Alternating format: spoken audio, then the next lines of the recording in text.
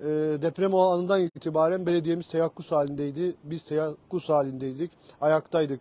Ve e, çok kısa süre içerisinde özellikle arama kurtarmaya bir an önce yetişmesi için e, bizim arama kurtarma ekiplerimizin e, harekete geçtik ve hazırlıklarımızı tamamladık ve 7'yi geçerek de sabah 7'yi geçerek de yola revan ettik onları.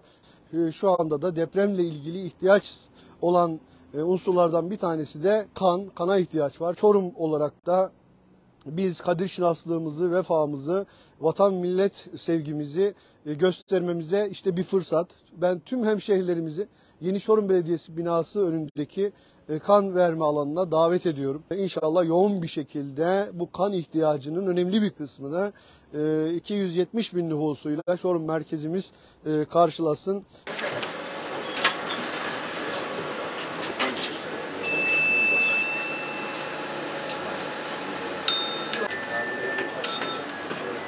Şifa olsun inşallah.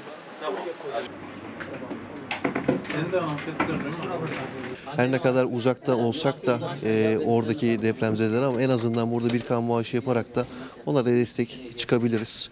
E, herkes e, bu görevi bir vatani bir görev olarak e, üstlenirse, e, herkes hassasiyetle yaklaşırsa e, herkes memnun kalır diye düşünüyoruz. Sabah başkanımızın çağrısını duyarak hemen koştum geldim kan vermeye. Kanımı da verdim şükür. Allah depremzedelere yardım etsin. Benim de kızım şeyde Antep'te şu an.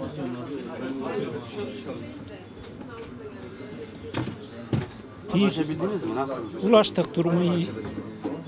Sığınma yerinde. tüm vatandaşların duyarlı olup oradaki vatandaşların en azından hafif, acılarını hafifletmek için kan bağışında bulunabilirler yani. Biz de öyle o niyetle geldik inşallah. Kan bağışı yapacağız. Yani buradan herhangi bir yardım yapabiliyorsak ne mutlu bize yani. Mühim olan da o yani. İnsanın insan olduğunu, değerleri bugün de anlatması çok süper bir şey. Allah kimseye bu acıları göstermesin.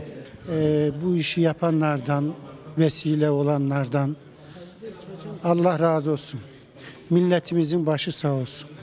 Bugün onlara, yarın bize. Allah razı olsun. Dörtten belli ayaktayız zaten. Dualarımız onlarla. Bir canın kurtulmasına vesile olmak çok büyük şey yani. Bu candan cana hediye olsun yani.